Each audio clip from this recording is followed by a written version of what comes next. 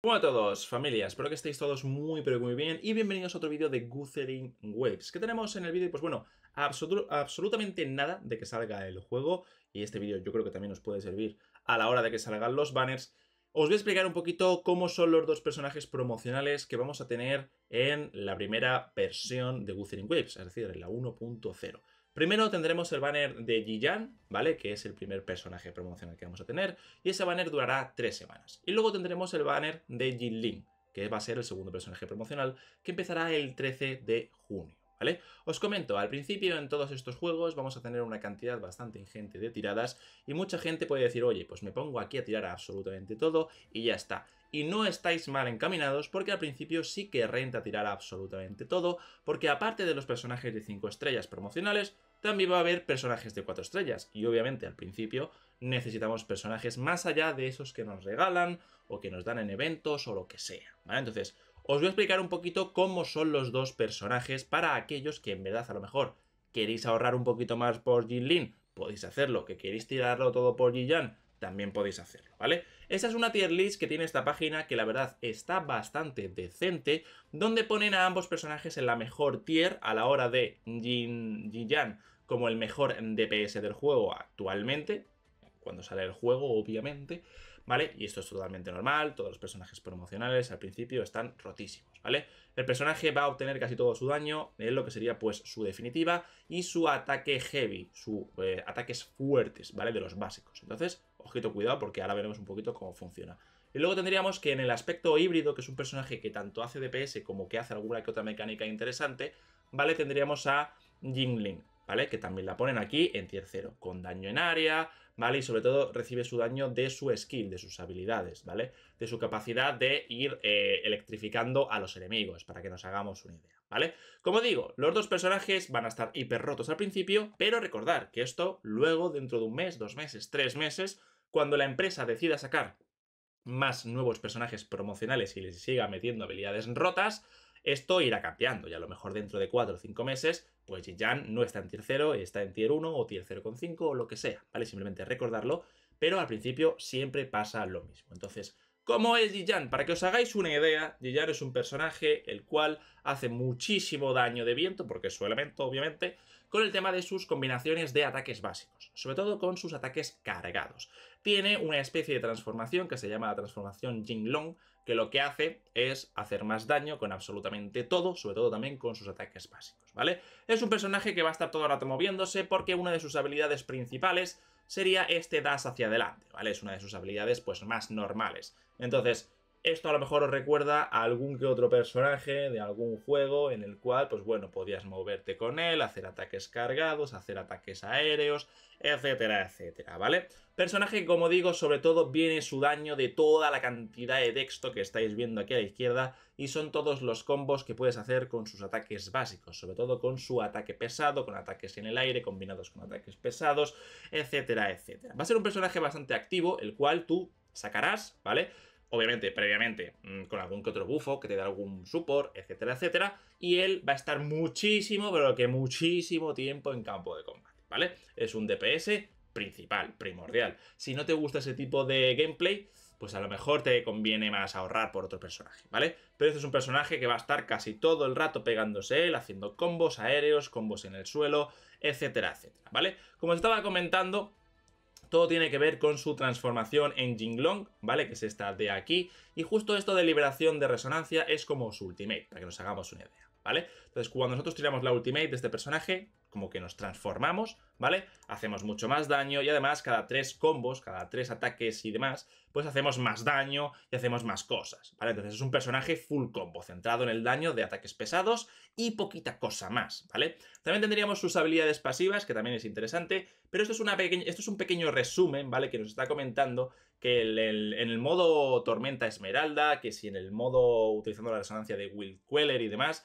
vamos a tener más daño, ¿vale? Y que nosotros somos capaces de ir rellenando esa resolución. Con esa resolución vamos a ir obteniendo estas pasivas. Simplemente es eso, ¿vale? Cuando nosotros aceptamos alguna habilidad, cuando nosotros aceptamos pues algún que otro ataque a los enemigos, vamos a ir cargando una resolución. Y cuando nosotros tenemos una cantidad de resolución necesaria, vamos a poder activarla para obtener todas estas pasivas. Es simplemente un pequeño resumen, ¿vale? Bastantes personajes se suelen comportar de esta manera, ¿vale? A lo mejor no se le llama resolución, se le llama de otra manera, pero nuestros ataques y demás van como cargando, cargando pasivas. Y cuando nosotros tenemos esa carga, las podemos activar y ya está, ¿vale? Entonces, ojito, cuidado. También, cosa interesante, estas son como sus eh, también eh, habilidades eh, inherentes, ¿vale? Del propio personaje y tienen estos nombres. Equilibrio celestial. Después de lanzar el golpe táctico de habilidad de introducción, la, bonificación de daño de ataque básico y la bonificación de daño de ataque pesado, que esto es sobre todo de donde viene el daño de Jiyan, aumenta en un 8%. Pues muy bien, con una duración de 14 segundos, es decir, pasivas que nos van a ir dando más daño en lo que en verdad el personaje requiere.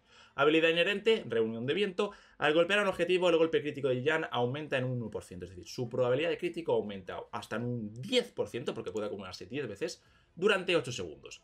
Esto se va a poder alcanzar bastante bien porque golpearemos muchísimas veces. Son combos de ataques básicos, ¿vale? Y son ataques básicos por lo que he visto en un vídeo, que no lo puedo mostrar ahora porque todavía no ha salido, ¿vale? Que eh, son bastante rápidos y se pueden hacer fácil, ¿vale? Luego también tendríamos que pasivamente eh, pues obtiene un 8% de crítico el personaje, sencillito, y un 12% de lo que sería pues ataque. Hay personajes que obtienen otras cosas en vez de esto, ¿vale? Dependiendo un poquito de en qué se centren. Luego sus estadísticas a nivel 90 tiene el ataque más alto del juego, si mal no estoy, ¿vale? Por ejemplo, los híbridos he visto alguno con 410, 420 más o menos, pero actualmente creo que este es el personaje que más ataque tiene, ¿vale? La vida de 1400, defensa 1100, no es la más alta obviamente la defensa, pero tampoco se centra en eso. Energía, máxima, energía máxima 125, como siempre crítico y daño crítico, pues lo normal al principio, bono de curación 0 y daño de aéreo 0. Esto obviamente se va a poder modificando con el tema de los artefactos. Y para terminar, las habilidades de concierto. ¿vale? Que son otras pasivas, otras movidas que literalmente el personaje va a ir haciendo con sus combos, ¿vale? Esto va a ser un caos, ya os lo comento, en combate. En combate vamos a ver una cantidad de números, una cantidad de cosas por ahí explotando bastante locas, ¿vale? Tenemos habilidad de introducción, golpe táctico, Jiyan sosteniendo una lanza, apuñal al objetivo desde el, aire, desde el aire, causando daño aéreo, sencillita. Y luego lo que sería la habilidad eh, final, ¿vale? Autodisciplina, que es que cuando el ataque pesado del personaje golpea al objetivo, Jiyan convocará a Jinglong, ¿vale? Que es el estado S, para atacar juntos. No sé si es como una pequeña invocación que tiene él también, pero ojito, cuidado.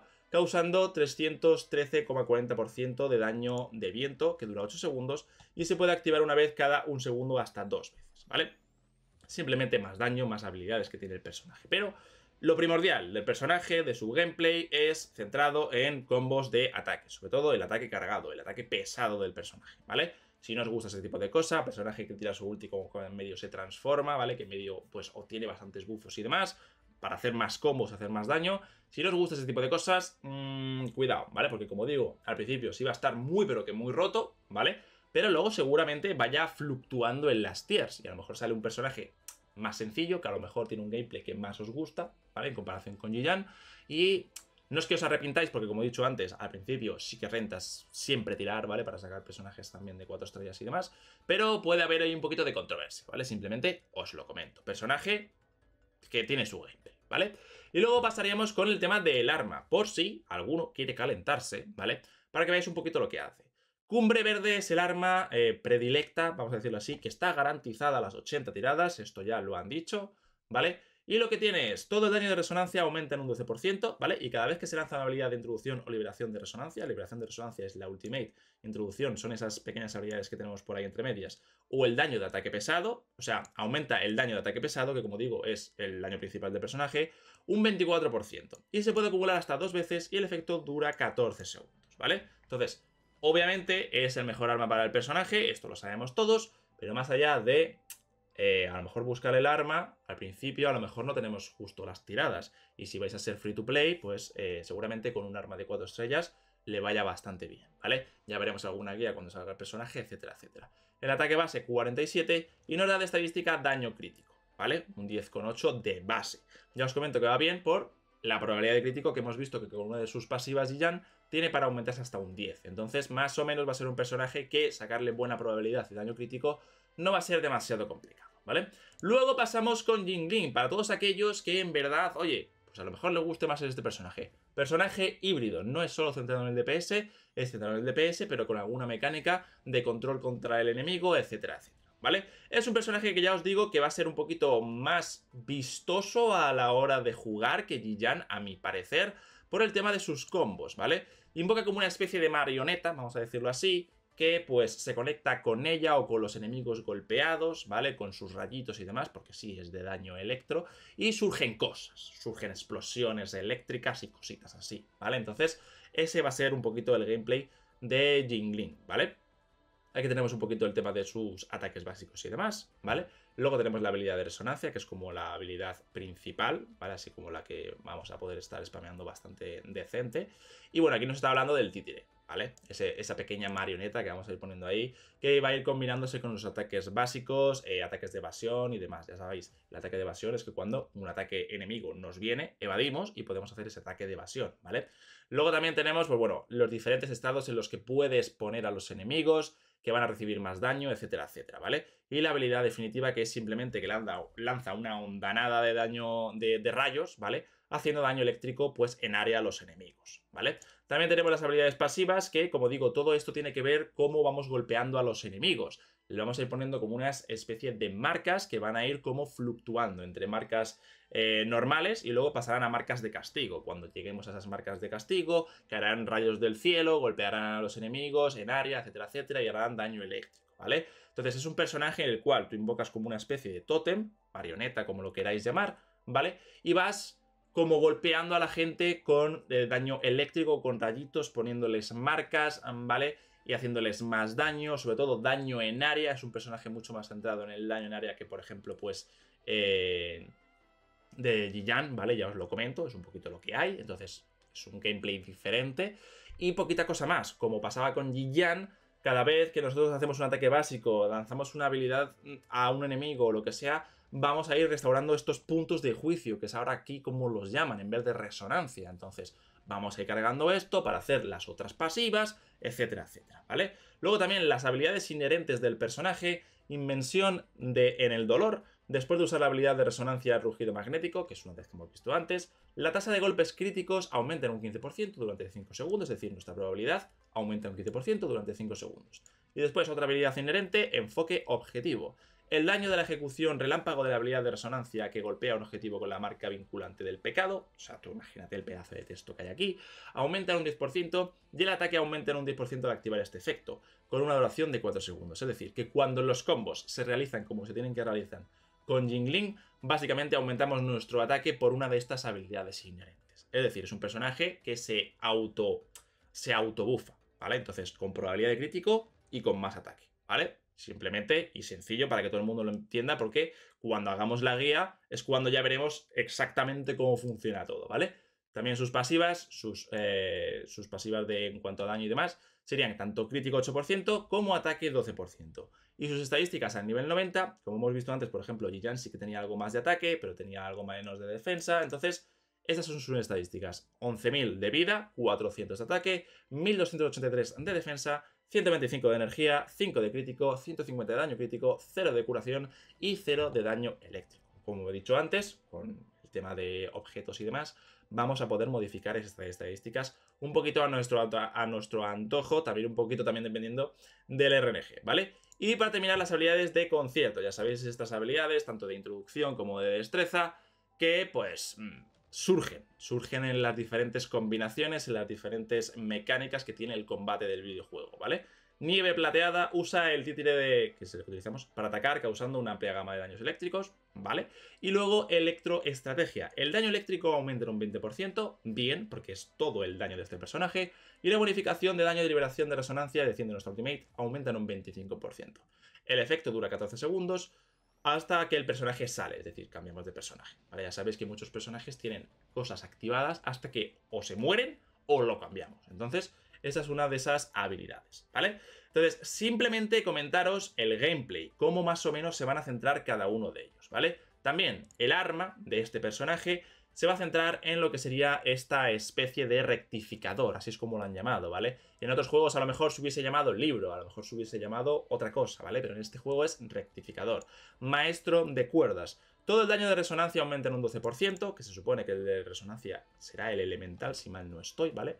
O sea, un 12% más de daño eléctrico, si mal no estoy. lo comento, ¿vale? Después de lanzar Resonance Liberation, es decir, nuestra ultimate, otra habilidad, el ataque aumenta en un 12%, perfecto, y los efectos son independientes y se puede acumular hasta dos veces, y el efecto dura dos segundos. Contando con que los combos van a ir metiendo marcas, van a ir metiendo diferentes estados a los enemigos y demás, esto se va a poder stackear súper fácil con el personaje, ¿vale? Entonces, otra vez, el arma predilecta para lo que sería Jinlin, ¿vale?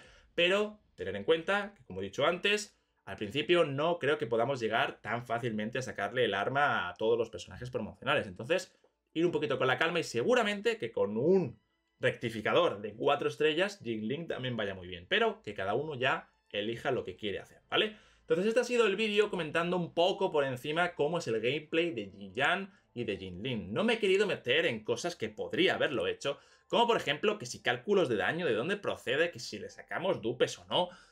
Esto en la guía, ¿vale? Simplemente para que sepáis cómo van a ser los dos, cómo se van a comportar. Uno de viento y otro de eléctrico, ¿vale? Obviamente, en cierto contenido, este será mejor. Por ejemplo, Jinlin hace más daño en área y contra enemigos que sean débiles a lo que sería Electro, se puede hacer alguna combinación ahí guay con Electro, pues va a ser mejor. En el contrario, ya seguramente contra bosses con mucha vida, solo single target, haga más daño. Cositas así, ¿vale? Simplemente tenerlo un poquito en cuenta, como os he comentado antes, tirar al principio, no seáis tímidos, pero si alguno quiere ahorrar más menos, ¿vale? Que ya sepa un poco lo que se va a encontrar con estos dos primeros personajes promocionales que tendremos en la versión 1.0 de Wuthering Waves. Espero que os haya gustado el vídeo, si es así, dejadme una buena suscripción y un buen like, en serio me da muchísimo, totalmente gratis, y que paséis una buena noche, una buena tarde o una buena mañana, seguro lo estáis viendo. Muchas gracias por el apoyo, como siempre.